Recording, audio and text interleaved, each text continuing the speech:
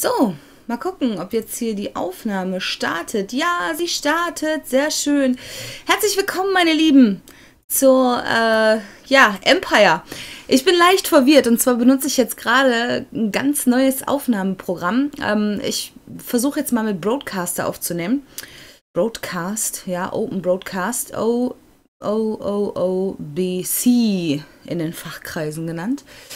Ja, und zwar äh, habe ich mir jetzt ein paar Einstellungen hier gemacht mit diesem äh, Streaming-Programm. Ist eigentlich ein Streaming-Programm für Twitch. Ähm, ich habe damit auch schon gestreamt, aber ich habe jetzt auch erfahren, dass man damit ganz einfach aufnehmen kann. Man bekommt da ganz kleine Dateien und ähm, habe mir jetzt gleichzeitig dann auch noch ein neues ähm, äh, Videobearbeitungsprogramm äh, gegönnt. Und ja, ich möchte jetzt einfach mal diese Aufnahme hier versuchen, denn mich hat es echt tierisch genervt, dass ihr ähm, immer diese schwarzen Balken am, am Rand hattet. Ähm, das wollte ich euch einfach nicht zumuten. Ich war jetzt letzte Woche, also jetzt am Wochenende, als der Gubi da war, waren wir auch bei meinem Nachbarn. Und äh, der hatte mir dann auch gezeigt, wie man diese schwarzen Ränder wegbekommt. Allerdings müsstet ihr dann den v VCL Media Player oder wie der da heißt, müsstet ihr haben. Und da müsstet ihr dann 16 zu 9 einstellen. Ich wollte euch das einfach nicht zumuten. Ich möchte, dass ihr eine gute Quali habt. Ich möchte selber eine gute Quali haben für meine Videos. Wenn ich da selber Videos sehe, die so einen schwarzen Rand am, am äh, hier an den Seiten hat, dann äh, finde ich das Ganze nicht schön. Deswegen, also es kann sein, dass ich jetzt die ein oder anderen ähm, Einstellungen hier noch machen muss, dass das nicht ganz alles so optimal läuft jetzt hier. Ja, mal gucken.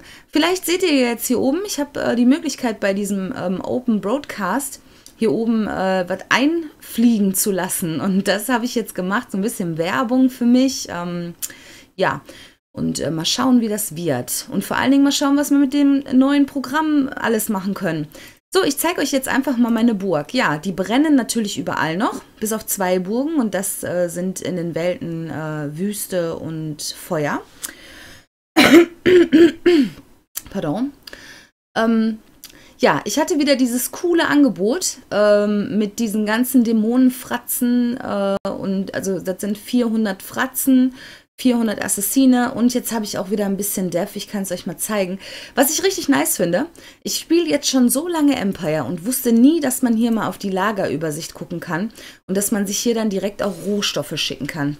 Also das ist echt der Hammer. Wir können hier dann direkt mal schauen, was wir alles drin haben. Ihr seht also Königsgarde Wache und Königsspeer Garde Speer, die ähm, waren ja auch mit in dem Paket mit drin, wenn ich 10.000 Rubine kaufe. Deswegen habe ich jetzt 12k, ein bisschen mehr. Und ähm, ja, mal gucken, was ich damit mache. Also auf jeden Fall keine Feuer löschen. Ne? Also da werden wir jetzt schön durchgehen. Ich äh, bin mittlerweile in der anderen Alli. Ich bin bei Paradise Titans. Eine super nette Ali. Der King Scorpion ist jetzt auch da, deswegen können wir jetzt unsere Angriffe gegenseitig immer sehen. Gut ist, wenn ich dann unten in der Küche irgendwas zubereite oder so. Ähm, auf jeden Fall sehr, sehr nice, dass er dann den, also nicht den roten Rahmen, aber auf jeden Fall den Angriff dann sehen kann und mich dann schnell rufen kann. Ne? Das ist ganz cool. Diese Allianz, um mal kurz ein bisschen was zu der zu sagen, gehört natürlich auch zu den Titans, zu der Titans Family. Aber diese Allianz steht nicht in dem großen Serverkrieg, der jetzt hier gerade ist. Also die ähm, haben zwar auch Kriege und äh, halten sich auch an die Titans-Regeln, aber die stehen halt nicht äh, gegen Bad Boys und Crusaders im Krieg. Und ja, ich. Mir wäre eigentlich auch egal gewesen, in welche Titans ich gehe ich wollte halt einfach nur, ähm, dass ich zu, dann zu Titans gehe, wo wirklich dann auch währenddessen ich online bin, beziehungsweise zur europäischen Zeit auch Leute on online sind. Das hat auf jeden Fall den riesen Vorteil, dass du, wenn du äh, ein Fest ansetzt, so wie ich das gestern gemacht habe, ich habe gestern ein sechs Stunden Fest angesetzt, weil mir ja wirklich alle off und alle dev geschrottet wurden. Ähm, ja, um da wieder zu produzieren, musste ich dann immer, also habe ich dann immer einen Soldaten nur reingesetzt und mir wurde dann direkt geholfen, also dass die dann sich multipliziert, multipliziert haben, ne? Ähm, ja, das hat auf jeden Fall den riesen Vorteil. Und zweitens natürlich auch, dass man sich dann viel besser unterstützen kann, wenn mehrere Leute zur selben Zeit online sind.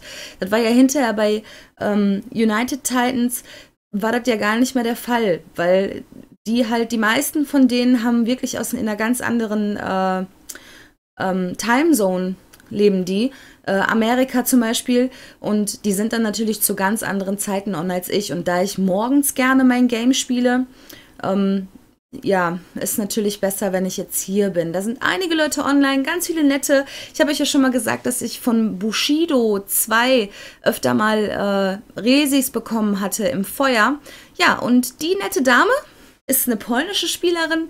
Ähm, die ist jetzt auch mit mir in einer Allee und die sitzt direkt oben. Und mein, mein Dorf wurde auch schon angegriffen und da habe ich Death reinbekommen.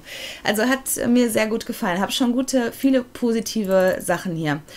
Natürlich ähm, habe ich mich bei den United Titans sehr, sehr wohl gefühlt und bin ich auch mit einem weinenden Auge wirklich gegangen und ich habe gesagt, egal wann die meine Hilfe brauchen, ich bin da. Ich weiß nicht, ob ich da vielleicht irgendwann wieder zurückgehe, weil ich fühle mich da echt wohl.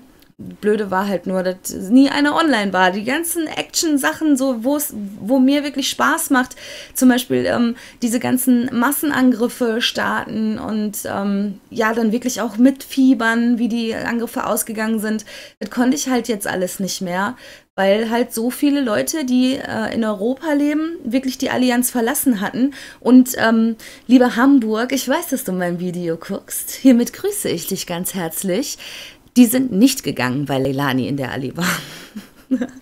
ja, immer noch traurig. Coucher ist jetzt echt eine Ruine, hat keine APs mehr. Der hat ja wirklich super schnell geschafft, hier innerhalb von sechs Monaten dann auf Level 70 zu kommen.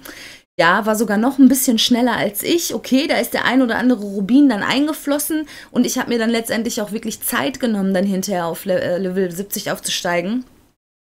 Und ähm, Coucher war da ein bisschen schneller, aber es ist auf jeden Fall machbar. Man sagt eigentlich, so eine Level 70er Burg wird innerhalb von, wenn man wirklich täglich spielt, von einem Jahr ungefähr aufgebaut. Aber wir haben es wirklich geschafft, die ähm, 70er Burg so in äh, sechs Monaten aufzubauen. Und ja, da, das wird uns auf ewig verbinden, mein lieber Coucher, auch wenn du das nicht möchtest.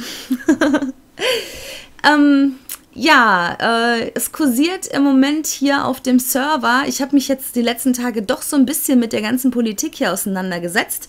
Und ähm, da ich jetzt auch wieder mit dem Nitromo, der wirklich sehr involviert ist hier, ähm, Kontakt habe, hat er mir wieder einiges geschrieben. Eigentlich wollte ich es nicht. Eigentlich wollte ich überhaupt gar nicht mit dem, mit dem ganzen Zeug hier, also mit diesen ganzen ja, Intrigen, die man dann halt manchmal auch hat, die man oft hat, gerade bei so einem Spiel, ähm, wollte ich eigentlich nicht konfrontiert werden.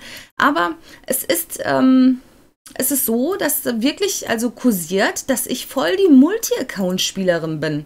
Also diese ganzen Burgen, die hier um mich rum sind, hier zum Beispiel da steht eine Leilani, Lochis Leilani. da steht eine Leilani, hier stehen äh, die Leilani-Fan-Allianzen. Ähm, da wird gesagt, dass das alles meine Burgen sind. Aber das ist so nicht. Also ich spiele wirklich nur diese eine Burg hier, sonst würde ich so viel gar nicht erreichen.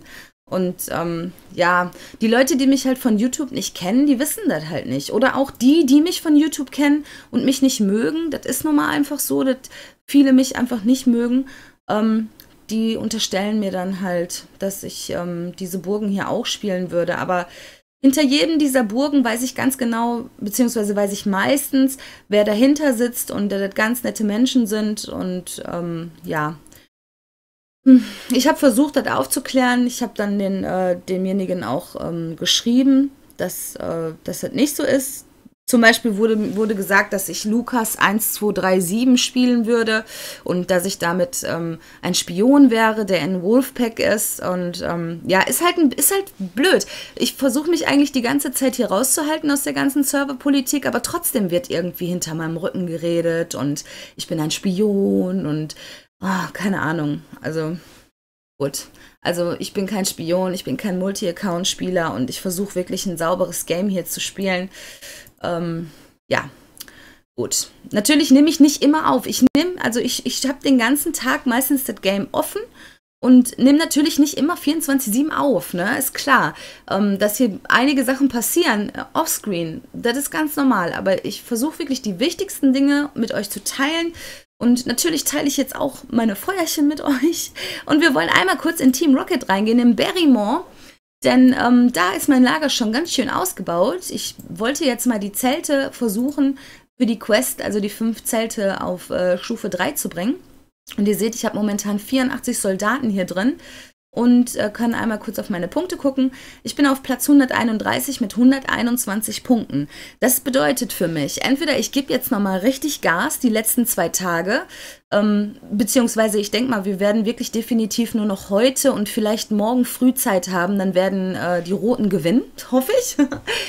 ähm, aber da tut ja gar nichts mehr zur Sache, ob die Roten jetzt gewinnen oder nicht. Früher war es ja so, in der ähm, auf der Seite, wo du warst, diejenigen, die gewonnen haben, da hat man halt dann ähm, die Deko bekommen. Und jetzt ist das halt nicht mehr so. Da bekommst du für 200 Punkte, bekommst du dann, ich würde schon wieder den Stolz des Löwen bekommen, hat mich echt leicht abfuckt, weil den habe ich schon zweimal. Ich hätte wirklich ganz gerne den Bären mal gehabt. Und vor allen Dingen hätte ich dann ganz auch gerne auch mal die, die, den Harnisch des Bären und den Helm des wilden Bären gehabt. Ne? Ähm, im Moment ist äh, die Queen B immer noch da. Ich kann euch die mal zeigen. Die ist bei Pirate Titans.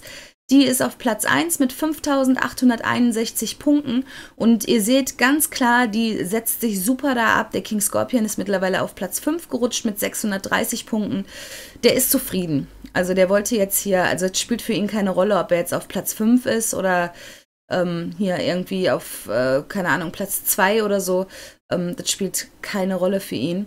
Und ähm, ja, Hauptsache, er ist auf jeden Fall, die, den Tapferkeitspreis, den hat er in jedem Fall. Und ich denke mal, Top 100 wird auch nicht so weit sein. Wir können mal ganz kurz gucken, wie die Top 100 steht im Moment. Na, weiter, weiter, weiter, weiter, weiter. So, der 100. Platz hat 165 Punkte. Das bedeutet, dass die noch nicht mal in den Top 100 alle die 200 Punkte erreicht haben. Also für mich ist das wirklich gar nicht so weit weg, wenigstens die Top 100 und damit dann halt auch Harnisch des Goldenen Löwen und Helm des Löwen zu bekommen. Hätten wir wieder zwei Ausrüstungsteile, aber ich habe heute Morgen meine ganzen Ausrüstungsteile, ehrlich gesagt, ähm, habe ich verkauft, denn das war die ganze Zeit voll. Ihr seht also, ich habe hier Rochensperr und Amulett des Wasserdrachen. Habe ich immer noch nicht eingebaut, weil ich einfach nicht weiß, wohin damit. Der Krummsäbel, der liegt hier auch noch rum. Ähm, ich habe so viele coole Ausrüstungsgegenstände im Moment, dass ihr seht ja sogar die roten bei mir irgendwie. Die werde ich mit Sicherheit noch irgendwo einbauen können. Der ein oder andere Feldherr, der kann wirklich mal umgebaut werden. Aber ich hatte halt im Moment noch keine Zeit dafür. So, jetzt wollen wir mal der Ali helfen. Dann hole ich mal mein schönes Erspartes ab und dann gucke ich mal, was ich für die. Ach nee, warte mal, lass mal erstmal hier eins. Oh, guck mal. Wollt ihr mich verarschen, Leute? Das sind genau die Zelte, die ich immer angreife. Die sollt ihr doch nicht einnehmen, ich brauche die doch. ja, wollen wir mal gucken hier. Die kann ich auf jeden Fall wieder angreifen. Alle, die ihr seht hier, die äh, ausspioniert sind, aber nicht angegriffen sind, die haben einfach zu viele Truppen drin. Also ich gehe wirklich äh, nur auf Lager, wo keine Truppen drin sind. Ich gucke mal eben, ob hier jetzt Truppen drin sind. Nein, also kann ich den auf jeden Fall angreifen, kriege ich sogar noch ein bisschen Ehre. Also ihr wisst, ne? 8-8, eigentlich könnte ich auch 16-16, aber falls der mal irgendwie ähm, dann wieder Soldaten reinkriegt, bin ich wirklich gut äh, dabei, wenn ich die 8-8 nehme. So, meinen guten Feldherrn nehmen wir mal dafür, ist ja egal. Oh, Spionage gescheitert. Na super, bei dem fällt mir das oft schwer, den auszuspionieren. Also das ist wirklich der Einzige, der dann wirklich auch mal scheitert manchmal. Fast 700k Münzen. Ähm, ich habe ja gestern ein Fest gehabt. Ich war schon fast wieder bei einer Million. Aber ähm, ja, Fest und so, dann ist das natürlich so, ne? Dass man dann ganz schnell mal. So, jetzt ist erfolgreich und den können wir auch. Und da kriegen wir sogar auch noch ein paar Pünktchen. Und auch da, so, wenn alles gut geht, haben wir dann gleich schon wieder zwei Punkte mehr. So, und das wird Zeit, dass ich dann jetzt wieder Soldaten bekomme, finde ich. so, weil so kann ich nämlich immer nur zwei Pünktchen machen und ich hätte natürlich gerne, dass ich mindestens fünf, sechs Angriffe rausschicken kann, weil das sind dann immer sechs Punkte und das ist ein Riesensprung, ne? Ich würde ganz gerne einmal gucken hier, was er hier ähm, drin hat, weil ich möchte den ungern meinen Nachbarn hier der wurde schon ein paar Mal jetzt versucht einzunehmen und ich habe den auch schon das ein oder andere Mal freigeschossen. Aber manchmal haben die Leute wirklich so viele Truppen drin, dass ich da auch gar nichts machen kann. Jetzt habe ich den falsch losgeschickt, ne? Na egal, der kommt schon an. So, schauen wir mal. Spionage erfolgreich. 183. Wie steht denn der? Das kommt natürlich immer drauf an, wie der steht. Ja, der hat nur auf eine Seite, da könnten wir jetzt gut mit den Fernkämpfern reingehen. Und ihr seht, der hat nur Nahkämpfer. Das heißt, ich bräuchte im Grunde eigentlich nur ein paar Fernkämpfer, um den dann anzugreifen. Denn ihr seht, der ist sehr schwach in der Verteidigung gegen Fernkämpfer. Und ja, dann könnte ich auf jeden Fall da mal eben reinbashen. Der Feldherr, der ist auch nicht besonders. Der hat ja noch, guck mal, der hat die ganzen Nahkämpfer da drin und hat nur plus 8 Nahkämpferkampfkraft. Also, ähm, ach, beziehungsweise der, ähm, der Burgvogt. Ja, geht jetzt ja, ja. Geht jetzt gerade nicht, denn meine Fernkämpfer sind alle unterwegs, aber den könnte ich auf jeden Fall mit den paar Fernkämpfern, die ich jetzt habe, rausschießen. Ähm, mal gucken, ob der gleich noch drin ist. Das sieht man jetzt leider überhaupt nicht, ähm, was der hier drin hat, beziehungsweise ähm, wie lange der seine Fahne noch drin stecken hat. Und ist natürlich jetzt doof, dass ich jetzt vergessen habe, den mit den Pferdchen loszuschicken, aber gut.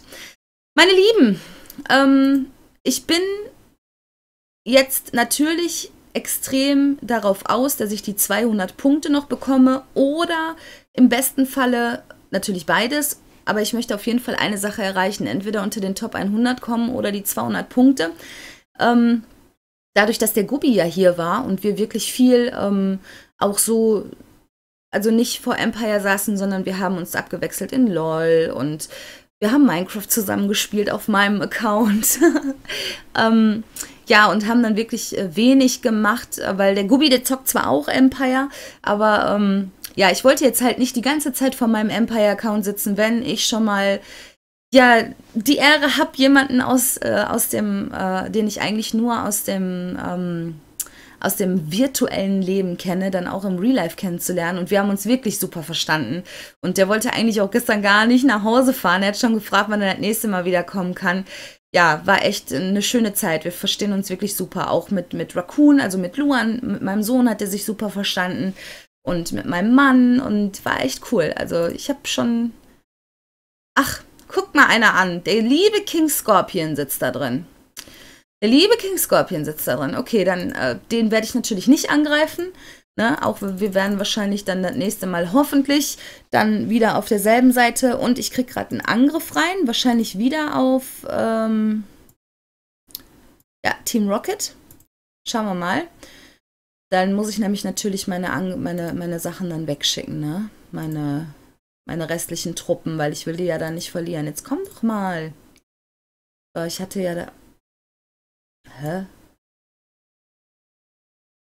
Ach so, der, ah, der schickt jetzt seine Truppen. Ja, das kannst du gerne machen, mein Lieber. Das ist kein Problem. Weißt du was? Dann schicke ich dir einfach auch nochmal. Ach nee, geht ja gar nicht. Die 20 Truppen sind ja viel zu wenig. Ja, ihr müsst mindestens mit 32 Soldaten angreifen. Ja, ich hoffe, der deft mich jetzt nicht weg. Äh.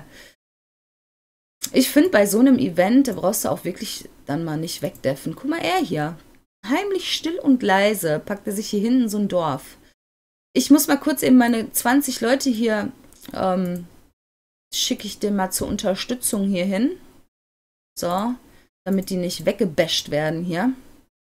So, eine Stunde reicht. Ich hole die gleich eh wieder zurück in vier Minuten. Und dann geht's ja. Nee, also ich hoffe wirklich, dass er mich jetzt nicht wegdefft, weil ich finde das total doof, wenn einer klar, wenn eine Einnahme kommt, natürlich, ne? Aber ähm, also ich würde jetzt nie irgendwie jemanden wegdeffen oder so, weil ich gönne jedem den Punkt hier. Und die Feuerchen, die sind so schnell gelöscht. Also du hast bis auf so ein paar Rohstoffverluste, die ich jetzt bei ihm da auch raushol, ähm, hast du keine Verluste. Also, ne, wenn er mich jetzt nicht wegdefft, heißt. Also ich werde das auf jeden Fall jetzt noch mal schauen. Das ist ja nicht mehr lang. Wenn wir zusammen jetzt gucken. Ja, noch 10 Sekunden. Ich habe 90 Nahkämpfer mit und 50 fern. Reisegeschwindigkeit ein bisschen, äh, Kampfkraft der Angreifer im Innenhof. Und juhu, er hat mich nicht weggedefft. Sehr nette Sache von ihm. Also wirklich. Jetzt holt er sich seine Ehre bei mir zurück, seinen Tapferkeitspunkt und ja, so ein bisschen Stein, ein bisschen Holz. Er wird wahrscheinlich bei mir mehr bekommen. Aber shit, shit happens. So. Ähm, den gönnen wir uns den Punkt. War, Herr Nachbar? So, ich guck mal. Also eine Stunde 22 ist auf jeden Fall jetzt mein Zelt noch da, beziehungsweise bin ich das am Hochbauen. Und ähm, ja, danach kann ich dann erstmal die Feuerchen löschen, die der nette Herr jetzt hier bei mir macht. Und ja, mal gucken. Also jetzt Platz 131, 122 Punkte. Leute, ich werde mich morgen nochmal bei euch melden. Und dann werden wir mal schauen, wie weit ich heute gekommen bin. Ne? Heute steht nichts Großartiges an, außer gleich noch, boom, uhu, noch eine Minecraft-Aufnahme, hoffentlich mit einem guten Aufnahmeprogramm. Und äh, ja, ich hoffe, euch hat die Folge gefallen. Wenn ja, dann lasst doch ein Däumchen nach oben da. Wir müssen mal ein bisschen gegen die Disliker angehen, weil ich weiß genau, wer das ist. Und äh, ja, ich weiß, dass ihr super seid. Ich habe immer so viele Likes auf meinen Videos und eure Kommentare und so. Voll cool. Ja, dann bedanke ich mich fürs Zusehen und wir sehen uns beim nächsten Mal. Dann eventuell morgen. Doch, ganz bestimmt morgen. Bis dann. Tschüss.